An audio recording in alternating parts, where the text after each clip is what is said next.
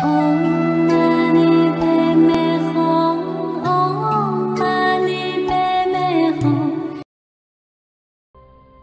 văn. Lại bất khả tư nghị, A Tăng kỳ kiếp về trước. Thuở đó, Trong đời có Đức Phật hiệu là Giác qua Định Tự Tại Dương Như Lai. Thọ mạng của Đức Phật ấy là bốn trăm ngàn muôn ức A Tăng kỳ kiếp. Lược giảng Đức Phật kể tiếp Lại bất khả tư nghị A Tăng kỳ kiếp về trước A Tăng kỳ kiếp là số kiếp nhiều đến nỗi không thể suy đoán, không thể luận bàn được. Và ở đây không chỉ nói tới ba đại A Tăng kỳ kiếp, mà là bất khả tư nghị A Tăng kỳ kiếp. Quãng thời gian này càng lâu càng dài hơn nữa. Thuở đó, trong đời có Đức Phật hiệu là Giác Hoa Định Tự Tại Dương Như Lai. Giác Hoa là nhân, tự tại dương là quả. Giác hòa là gốc định tự tại dương là ngọn. Như thế đức phật này nhờ ở nhân địa đã tu giác hòa nên chứng được quả tự tại dương ngài dùng cái gì để tu giác quan? ngài dùng định để tu do đâu mà ngài thành tựu được quả tự tại dương cũng là do tu định mà thành. Đó gọi là định nhân, định quả.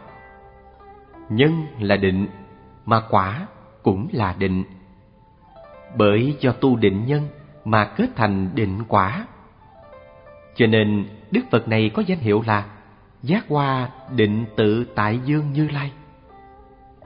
Trong đó, Giác Hoa Định Tự Tại Dương là danh hiệu riêng của Ngài và Như Lai là danh hiệu chung của chư Phật. Danh hiệu Phật thì có tên chung, cũng có tên riêng là như thế. Thọ mạng của Đức Phật ấy là bốn trăm ngàn muôn ức A Tăng kỳ kiếp.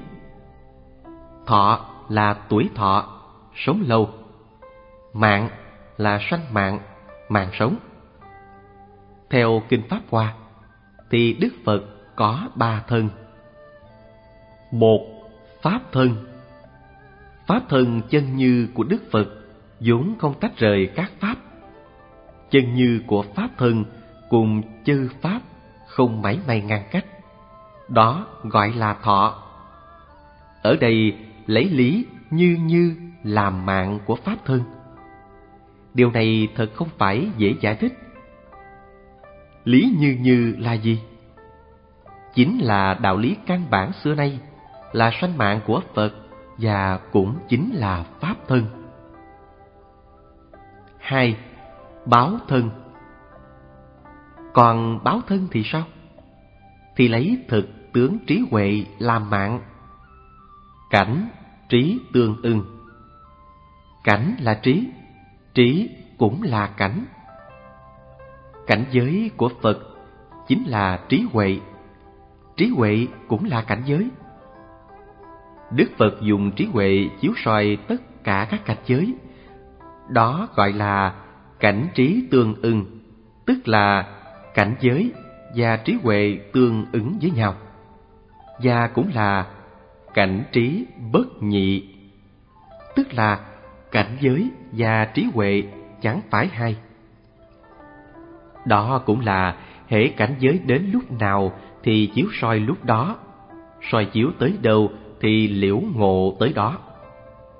Cảnh giới nào xảy đến thì Đức Phật cũng đều nhận biết, đều hiểu rõ, chứ không bị cảnh giới làm chướng ngại mà không nhận rõ được nó.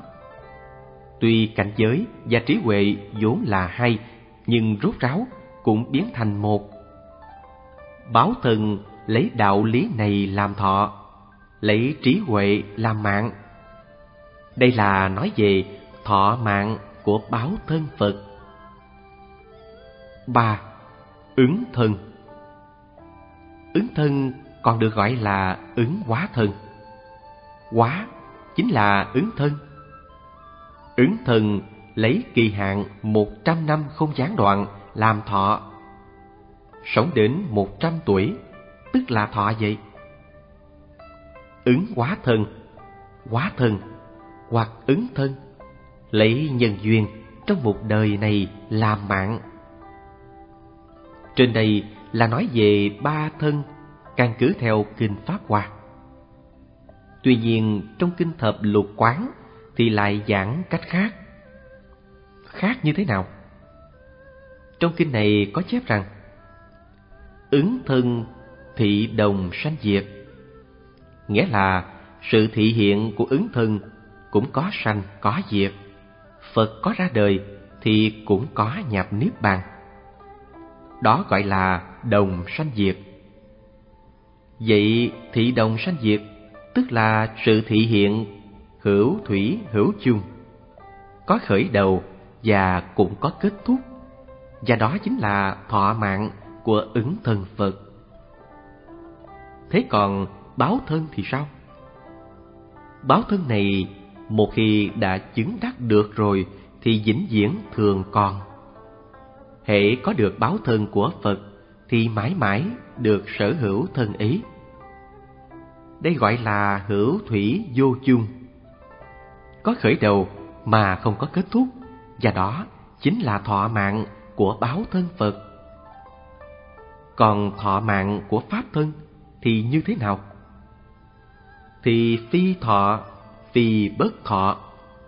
Quý vị nói rằng Pháp thân này thọ tồn tại lâu dài ư?